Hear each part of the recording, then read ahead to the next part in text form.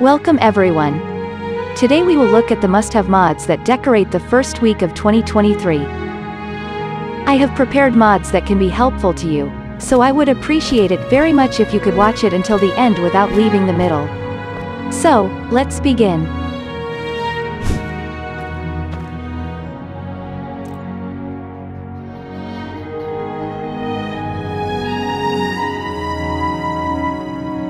The first mod I will introduce to you is the Show Player in Menus mod. This mod is SKSE mod that rotates the camera around to face the player in menus.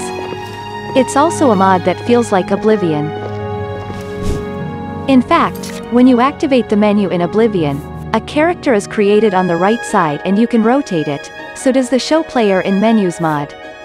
However, in the case of Oblivion, a separate character is created and displayed on the right side of the menu, but in the case of Show Player in Menus mod, the character active in the game appears on the menu in real time so that the character can be rotated dynamically.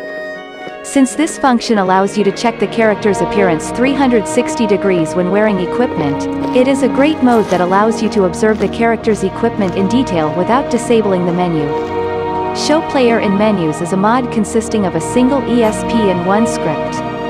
Not only that, this mod is said to be available for both SE and A players and is an amazing mod that can be used with SmoothCam, True Directional Movement, and Skyrim Souls Re. Depending on the settings of the custom camera mode you are using, there may be a difference in the position where the character appears in the menu, so you may need to modify the settings for this. In MCM's show player in menus, you can decide where you want your character to be when you activate the menu, and since you can toggle various options on and off, you can determine your character's position based on your camera settings.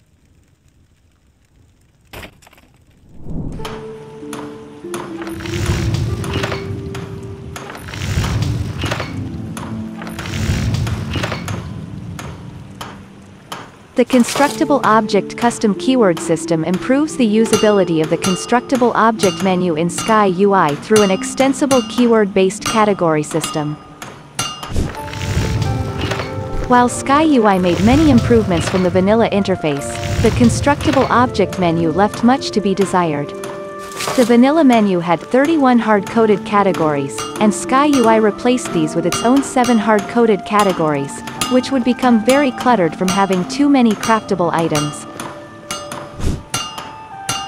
This mod takes some inspiration from the vanilla categories, integrating a similar keyword-based system into the SkyUI menu design, and makes this system fully customizable and extensible. This means it can better support additional crafting types introduced by Creation Club and mods, as well as provide the same UI improvements to modded crafting stations. The menu is used by Blacksmith Forge, Tanning Rack, Smelter, Cooking Pot, Aetherium Forge, Grain Mill, Oven, Drafting Table, Carpenter's Workbench, Staff Enchanter, mod added crafting stations. Configurations are included for the Blacksmith Forge and Carpenter's Workbench for the vanilla game, Creation Club, and unofficial Skyrim Special Edition patch. Initially, this mod was available for A and VR players, but now there is a patch available for SE players. In addition, there is a compatible mod that classifies weapons and armor, and there is also a patch for Nordic UI users, so it would be nice to refer to it.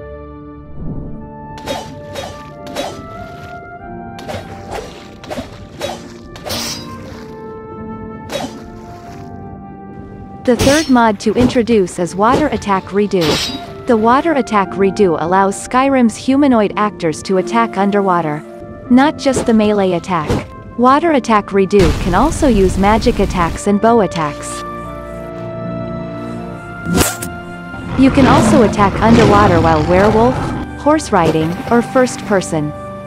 Water Attack Redo also supports MCO, However, since the direction that MCO pursues itself is a method in which the lower body and upper body are fixed and matched when the actor attacks, it is made to attack in this form even underwater, which may be rather unnatural.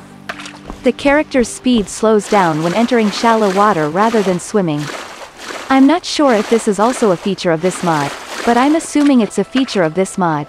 Water Attack Redo can be used with the Jump Attack and Paraglider mods, but cannot be used with Loki's wade in water and sink or swim mods because of overlapping functionality.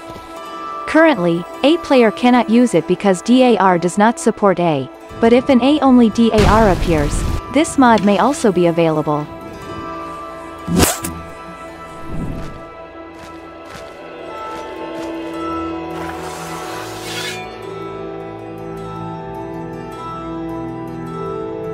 Simple Display Multiple Greatswords mod displays your second to last equipped greatsword, in addition to your last equipped one. This mod uses a simple script to add an additional display slot that will show an additional greatsword on your back. The second slot will be occupied by the second to last greatsword you had equipped as long as it is still in your inventory. It can display not only vanilla great swords, but also great swords added through mods. Through MCM, you can modify the equipment position of the greatsword, and you can also set it on off. It's a little disappointing that the physic effect doesn't apply to the equipment, but if you're a player who wants to display more of your usual greatsword, I recommend this mod.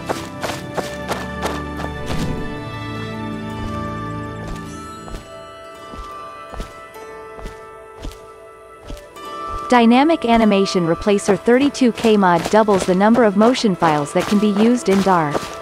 Previously, the number of animations available in TesNexus DAR is 16,384.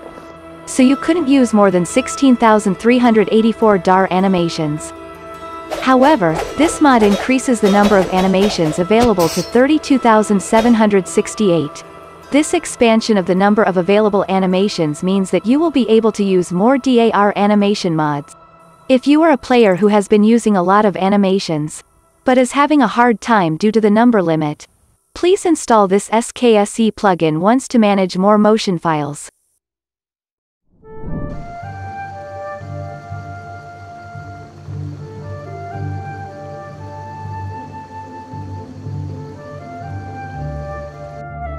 This mod adds animated ivy into farmhouses and stone walls.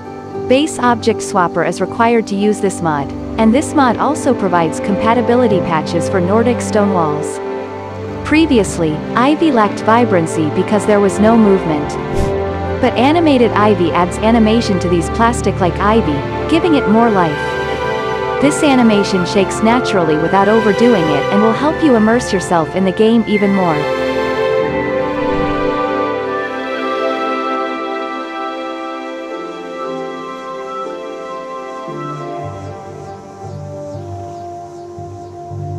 The Let Your Hair Down mod gives players the ability to toggle between buns and downs. Select two types of hair through Show Race menu, designate Set Hair Up and Set Hair Down in MCM, and press the hotkey. It is to choose two types of hair, but the concept of the mode is to tie or untie the hair, so it is better to choose the tied hair and the untied hair among the two hairs that are somewhat similar. On MCM, you can save or load 3 hair profile you set for convenient use. You can choose to disable it during battle, or if you install an option file, you can also output animations when changing hair. Of course, you must decide which hair to choose before using it. Only hair is available and wigs do not work. Likewise, viewers who like the concept of tying or untying their hair are immersive, please try the Let Your Hair Down mod.